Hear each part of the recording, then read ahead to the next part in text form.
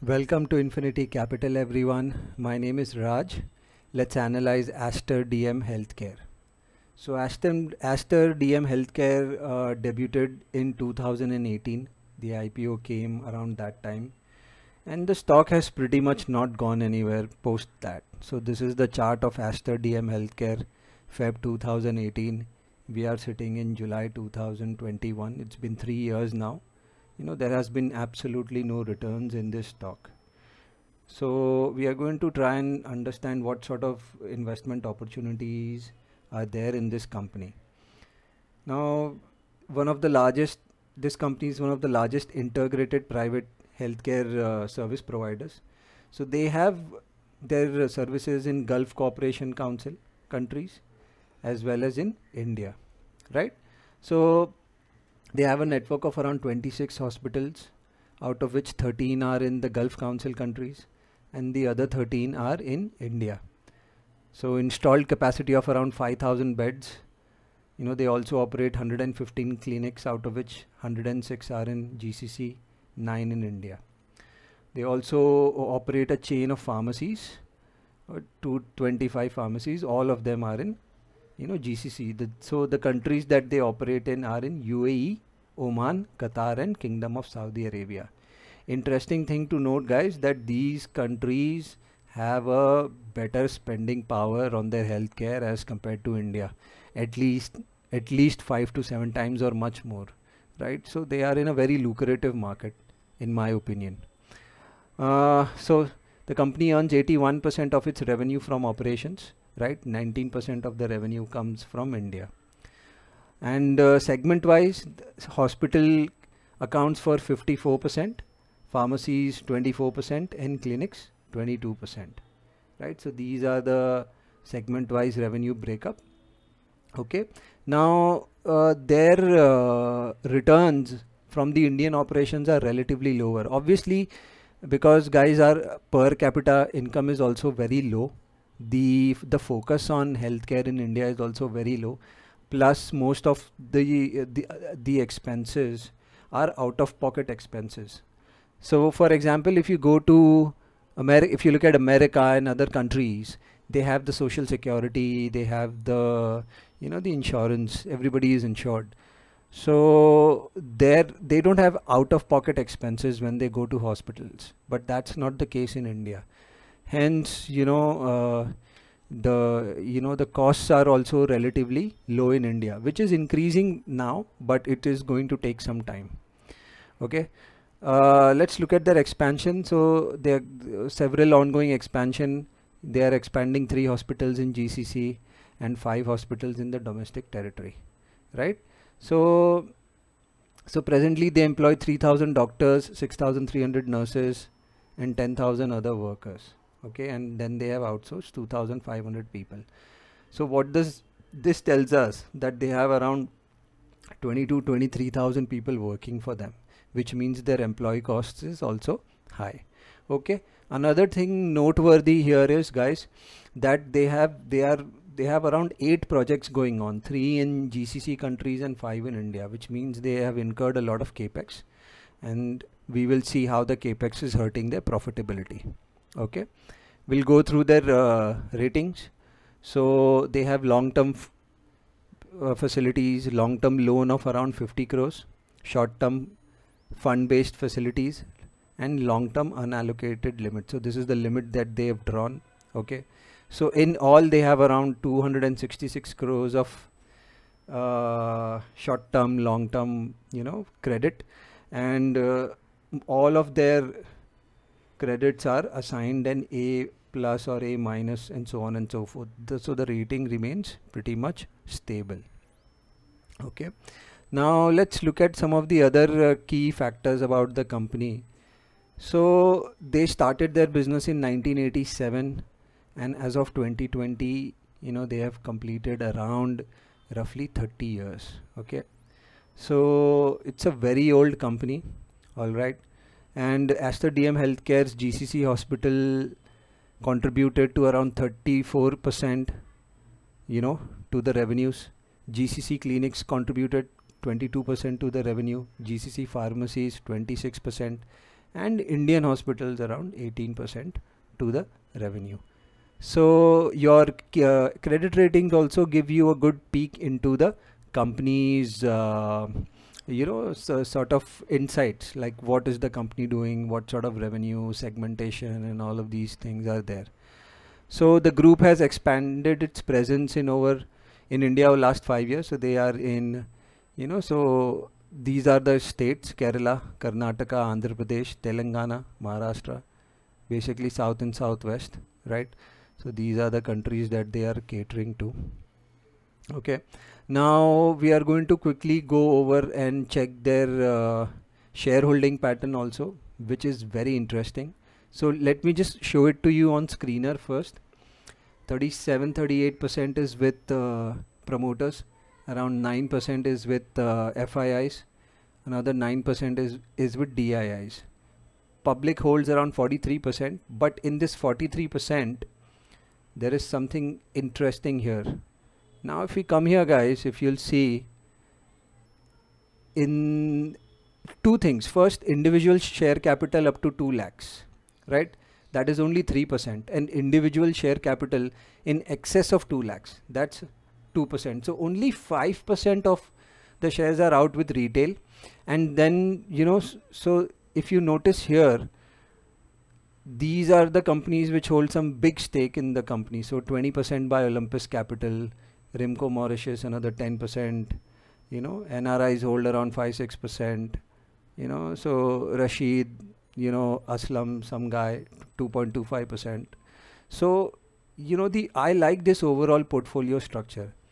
The uh, the amount of share out with retail is pretty less and uh, that is something that I like to see you know if we look at the funds also HDFC small cap fund has around 3.7%, Prudential Fund has 3%, you know, so FPIs are there. So there is good amount of participation. Insurance companies, you know, they have around 1%, Tata AI Life, right? So the shareholding pattern looks pretty good and we have very robust participation from all types of institutions. This is something that I love to see. On the cash flow front, they've been generating cash flows, you know, year after year. This year, cash flow from operations is around 1500 crores net cash flow was 123 crores pretty good right? Now they have significant amount of borrowings right? Because it's a capital intensive business guys. Uh, so borrowings are pretty much normal but their uh, debt uh, you know their debt is uh, so uh, for a 8000 crore company they have around 4000 uh, 4000 crores of debt. So it's pretty all right for a capital intensive business. Two points that i would like to you know uh, bring your attention to. Their gross block in uh, 2017 and 2018 was around 4500 crores which has increased to 9200 crores which is almost double. Which means that they have incurred significant capex. As we saw earlier when we come to the main page as we saw earlier there there are around 8 hospitals combined you know combining India and GCC countries coming up. So significant amount of capex has been incurred. And because of that if you see here their depreciation has also doubled. So guys what we have to take into consideration that uh, when you incur capex two things happen. You know you buy a land or you lease out a land then you know you, money is going out of your pocket to erect a hospital get clearances and all of that.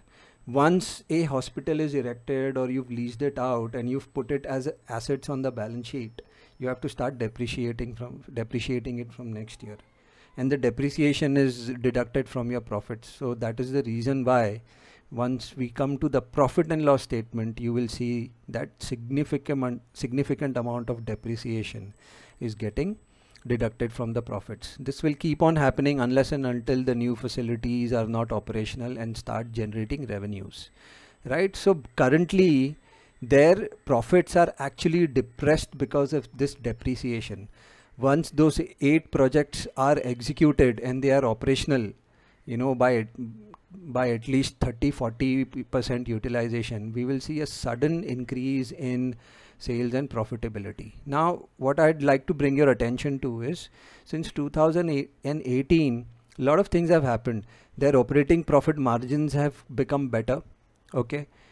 Earlier the uh, profit margins were struggling. You know if you look at uh, 16 15 to 18 they were struggling. Their op operating profit margins have become better okay? And if you see their sales have also gone up so sales were at 6000 crores in 17 they've gone up to 8600 crores. So sales are up by around you know 3000 crores. Profit was at 100 crores. Profit is at 153 crores. So so profit is up by around 50 percent. Guys depreciation in 17 18 was only 300 crores. Currently the depreciation is 600 crore. So even though the depreciation has doubled they have still managed to have 50 you know 50 percent higher profits as compared to 2017 so this is something noteworthy. Now look at the operating profit guys. Last year's and this year's operating profit was around 14,000 1400 crores 1000 crores. But because of the interest component you know because the interest component has also gone higher you know because they've borrowed money see in 2018 they had 2300 crores of borrowing now they have 4 4400 crores so because of this there the interest component has also gone higher and the depreciation has also gone higher. So it's a double whammy for this company right now. It is going through this painful uh, process, but once once their um, you know the the the facilities under construction st start generating revenue they would be able to pay off their loan also which will decrease their interest component and then thereafter the depreciation will not matter as much right guys so this is something noteworthy. Uh, last year they did 8,600 crores of uh, sales and uh, they did around 148 uh, crores of profit. It is lower as compared to the previous two years, but we've had COVID also last year and this year. So, you know, something that we need to take into account. On a quarter on quarter basis, March sales were a tad bit higher, but the profits were lower. You know, so there was some pressure on the margin as well, right? Now on the PE front, the median PE for the past three years is around 29. The stock is trading at a PE of uh, 53. So from the PE, PE perspective, it is looking overvalued. But if you look at all the other peers, you know, Path Labs and Apollo Hospitals and Max Healthcare, Metropolis, all of these companies have rallied. There is some sort of premium going on in these companies so you know from the PE front it looks a bit expensive so you know if uh, we'll have to start seeing some sort of profitability coming into the company. So that will probably bring the PE ratio down. Let's do the technical analysis. So as we as we can see here this got listed in 2018 it's pretty much sideways since then. It made a pretty good comeback from the covid lows. So it went up by around 133% and now it is consolidating in this 25% range. Okay. Go zoom a bit further. Let's do, let's look at the long-term moving averages. In the long-term moving average, stock is comfortably trading above the 200 day moving average which is trending upwards 50 has started trending upwards if you see the stock has been continuously trading above the 50 day moving average right so what's the strategy here you know this is the range in which the stock has been consolidating right so considering the fact that the stock is trading at 160 levels here we can start accumulating the stock between 1 140 and 160 this is the place where we can start accumulating the stock. And uh, what sort of targets are we looking at? So before we talk about any targets we have to take into consideration the fact that we have you know second wave going on. We might have a third wave also. So business might be disrupted for at least two to three quarters so we'll have to hold it for longer periods of time in order to see some uh, fruitful returns in this stock. So i would i would like to hold it for at least two to three quarters right? And then uh, uh, keep uh, keep a check on their quarterly earnings as to see what sort of uh, you know earnings are coming through. But uh, from what from a technical perspective i think you know the, the the stock is ready to you know ready to move out of this zone. It has been consolidating. If you see basically the stock has been consolidating in this range barring this barring this uh, timeline the stock is pretty much in this zone between 125 and 175 since the past very long time. So if we cons look closely guys this is something that not a lot of technical analysts will talk about. So this this is pretty much the range just a second guys. This is pretty much the range. Don't don't pay attention to the you know to extreme highs. See how much time the company has spent between this range. And and you will clearly notice that mac the the stock has spent maximum time within this range. Since since April 2019 the stock has spent maximum time within 113 and 162 this is the range. Barring this it just went down and then it quickly came back into this zone. So this is a safe zone where one can be accumulating this stock for long term also. From a short term period you know uh, from a short term period one can accumulate the stock between this and this zone. So between 140 and 160 is the uh, uh, is the space between which you, one can start accumulating the stock and then we wait for the then we wait for the quarterly earnings to see what sort of uh, earnings momentum is coming into uh, into this stock. So this was the analysis guys. Quick disclaimer this is not a buy sell recommendation. It's an educational video. Thanks a lot for watching